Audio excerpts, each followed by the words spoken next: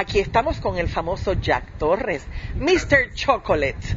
Eh, Jack, el reconocido chef, el mejor conocedor del chocolate, diría yo, en el mundo.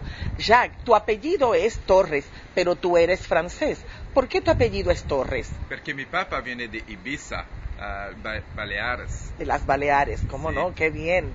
¿Y sabes hablar español? No, solamente un poquito. Un poquito. Sí, el fr- francés. ¿Y estás muy contento de estar en Puerto Rico? Sí, muy contento de estar bello. Muy bien, Muy- muchas muy gracias. bien.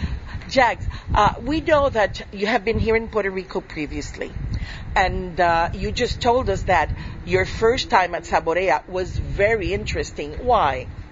I, I- I really love my, my first trip to, to Puerto Rico. I think it's because um, the people first, the, the welcoming of the people in Puerto Rico. I love the sun, I love the water, but I think the difference is the people here. It's so much energy, and I think my name is Torres.